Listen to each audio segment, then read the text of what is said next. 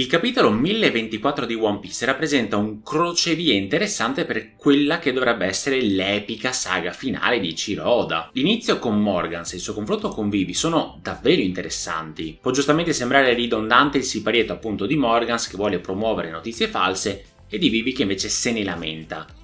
Ma dobbiamo chiederci il perché l'autore continua a voler rimarcare questo tipo di scena.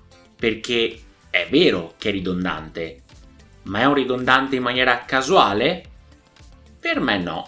Entrambi i personaggi, pur rappresentando ideali diversi e pur provenendo da mondi diversi, hanno un impatto significativo sulla narrazione di One Piece e condividono appunto dei tratti in comune. Morgas è un giornalista, ma non un giornalista qualsiasi. È il proprietario e caporedattore del giornale mondiale più diffuso in assoluto, il World Economy News, e il suo potere risiede proprio nella capacità di manipolare le informazioni e di andare a plasmare l'opinione pubblica. È ossessionato da vendere notizie sensazionali, ossessionato da aumentare la tiratura del suo giornale, disposto no, a distorcere la, la verità, a creare dei falsi scoop, il tutto pur di raggiungere questi suoi obiettivi. È insomma un maestro nell'arte della propaganda e sa come sfruttare le emozioni delle persone per andare a influenzare poi le loro opinioni. Morgans è sempre alla ricerca di nuove storie da raccontare e non esita poi a schierarsi con i vincitori. È insomma un ambizioso manipolatore opportunista. Praticamente fa tutto ciò che invece Vivi odia visceralmente.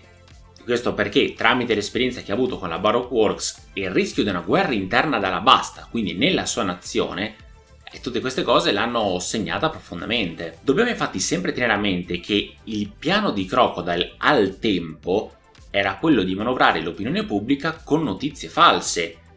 Quindi il personaggio di Vivi sa bene quali sono i danni che la mala gestione dell'informazione può andare a causare.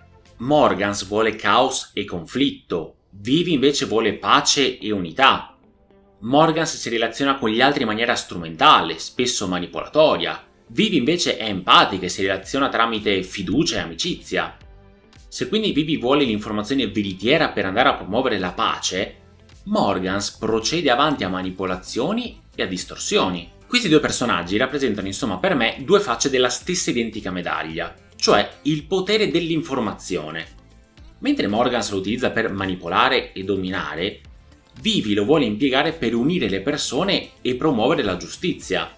Questo loro confronto ci mostra come la stessa risorsa può essere utilizzata sia per il bene che per il male. Questa scena e quindi l'esempio di Morgans ci fa riflettere sul potere dei media nella società e su quella che è l'importanza di un giornalismo etico e responsabile. Vivi e Morgans sono appunto entrambe figure di leadership, ma con approcci completamente diversi. Il loro confronto ci permette di riflettere sulle qualità che contraddistinguono poi anche un buon leader. Sempre questo ricordando chiaramente la storia della Basta e il ruolo di Vivi, che no, ci vanno appunto a mostrare le conseguenze devastanti della guerra causata dalla disinformazione, eh, diciamo, mediatica e in generale ci mostra un po' l'importanza della pace. Ma passiamo quindi dopo questa riflessione al fronte successivo. Sentomaru, la fedele guardia del corpo di Vegapunk, diciamo che per me è sempre stato un personaggio affascinante all'interno dell'universo di One Piece. La sua lealtà incrollabile verso sia lo scienziato che la marina lo hanno reso una figura rispettata ma anche complessa. Poi il recente deradimento della marina e la tragica morte di Vegapunk rappresentano un punto di svolta fondamentale per il personaggio, quindi per Sentomaru. Questi eventi avranno quindi un impatto profondo nella sua psiche, ma a quel punto mi interrogo sulle sue future azioni. Cioè, avranno quindi appunto un impatto in futuro e se sì, in che modo lo avranno? Il futuro del personaggio è incerto e dipenderà chiaramente dalle scelte che farà e dagli eventi che lo circonderanno man mano che andrà avanti nel suo percorso di evoluzione del personaggio. Ne so, potrebbe cercare vendetta, potrebbe diventare un rivoluzionario, potrebbe diventare un pirata o chissà che altro decidere di fare. Indipendentemente però dal percorso che prenderà, il suo personaggio è destinato a svolgere un ruolo importante nella saga di finale di One Piece, almeno secondo me la sua lealtà, la sua forza, la sua intelligenza lo renderanno o un avversario ostico per i protagonisti o un alleato inestimabile. Da capire chiaramente anche il futuro di Kuma e di Bonnie, che potrebbero comunque legarsi al futuro di Sentomaru, che comunque, ripeto, potrebbe anche scegliere di divagare per il mondo alla ricerca di uno scopo, senza legarsi a nessuna fazione, senza ricomparire mai, senza fare un ciufolo, però mi verrebbe strano da ipotizzare questa cosa qua. Questo percorso lo renderebbe un personaggio tragico e solitario, però gli permetterebbe anche di agire in piena libertà. Che forse è anche più interessante come sviluppo, in effetti detta così. Comunque, in conclusione di questo fronte, Sentomaro è un personaggio complesso e affascinante che penso abbia ancora molto da offrire ai lettori di One Piece. Futuro pieno di incognite, ma in effetti una cosa è certa. Il suo nome, essendo rimandano a Momotaro, è troppo importante nella cultura giapponese per avere un futuro narrativo irrilevante, per cui mi aspetto un po' grandi cose da questo personaggio. Ora è secondo me doverosa una piccola riflessione sul rapporto tra Kizaru e Vegapunk. Oltre alle scene veramente veramente ben disegnate, mi è piaciuto un sacco il riflesso sugli occhiali di Kizaru, pazzesco. Comunque l'amicizia tra di loro eh, ci ha fatto vedere un Kizaru che si lascia andare, che si abbandona alle emozioni e che piange un aspetto affascinante e complesso che presenta una dinamica unica tra due personaggi molto diversi.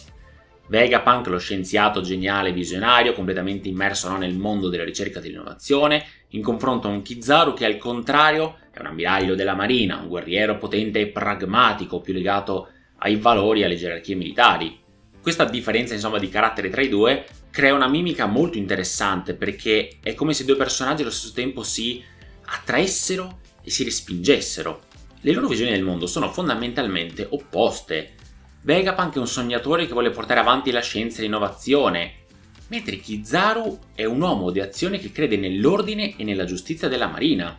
Il punto è che più andiamo avanti nella storia e più le alleanze e le fondamenta delle istituzioni vacillano, e più a me sembra interessante la costruzione del personaggio di Kizaru.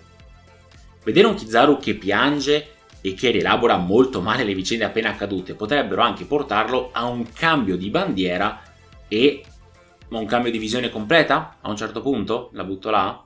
Oda lo sta pian piano portando a un punto di rottura e mi domando come e se ci sarà effettivamente questo punto di rottura e cosa accadrà a quel punto. È comunque un rapporto contraddittorio affascinante che continua a evolversi e a sorprendermi anche positivamente in quanto al lettore. Quindi carino lo sviluppo di, di Kizaru in questo capitolo. E questo ci porta da Kaino e al mondo che gli si sgretola sotto i piedi. Ora, noi avevamo lasciato il personaggio alle prese con la notizia che i draghi celesti stavano soffrendo la fame a causa delle azioni rivoluzionarie che tramite il blocco no, dei porti e le cose non permettevano ai rifornimenti di arrivare.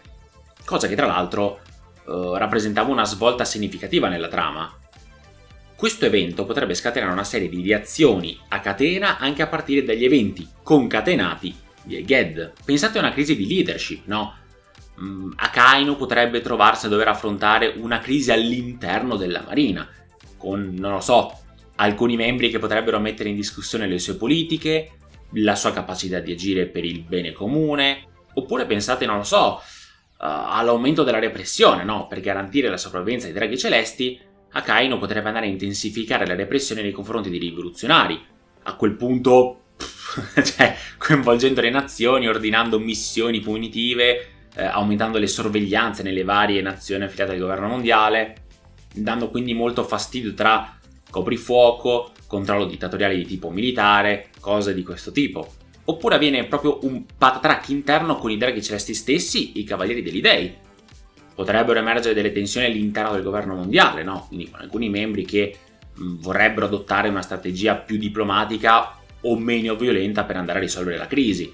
Loro magari vogliono cercare un compromesso, ma sappiamo che a Kaino i compromessi non vanno proprio proprio proprio d'accordo. In generale comunque mi sembra che Oda abbia preso il personaggio di Akaino come una sorta di punching ball e che stia rincarando la dose accanendosi nei suoi confronti. Cioè un po' mi dispiace, poveretto abbiamo una sfida al suo senso di giustizia, per esempio, no?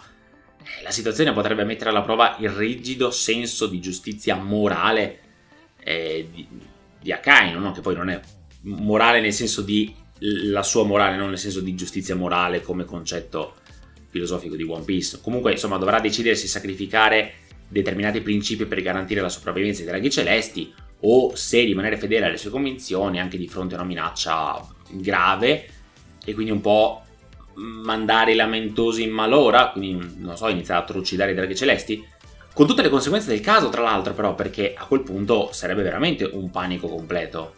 Questa crisi perenne che le ha cucito addosso potrebbe rappresentare un punto di svolta molto interessante per il personaggio, perché eh, potrebbe diventare più umano e comprensivo, potrebbe oppure invece radicalizzarsi ulteriormente, perdendo quindi ogni briciolo di empatia. Quindi a questo punto vi chiedo, cioè, secondo voi, come procederà la sua storia personale? Come sarà la Kainu di fine opera?